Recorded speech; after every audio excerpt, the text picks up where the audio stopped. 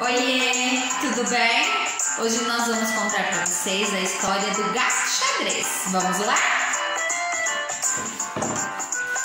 Era uma vez um gato xadrez.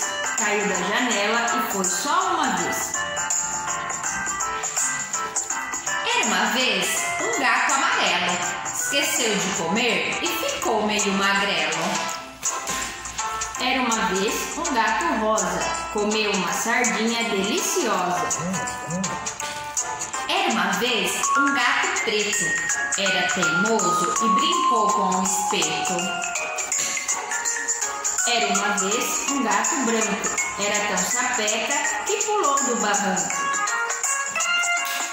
Era uma vez um gato laranja, ficou doente e só queria canja. Era uma vez um gato colorido, brincava com os amigos e era muito divertido.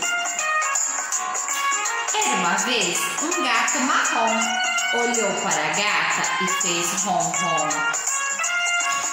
Era uma vez um gato verde, ele era preguiçoso e foi deitar na rede. Era uma vez um gato azul, levou um susto e fugiu para o sul.